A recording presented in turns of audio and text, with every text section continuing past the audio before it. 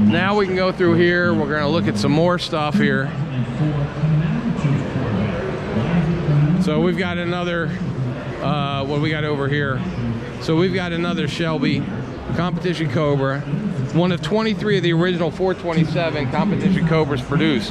So if we take a look at this, we've got side pipes. Now, if we looked at the Cobras over there, by the way, there's Motor Trend right there with a big cart doing stuff. I don't know what Motor Trend's doing, but anyway, uh, Motor Trend TV is here.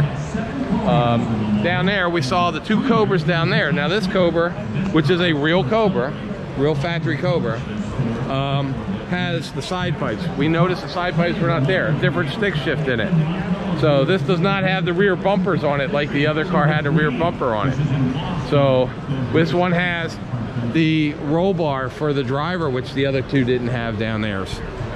So if we look about these, a lot of stuff is the same. This one has, uh, it's the bumper delete on the front as well.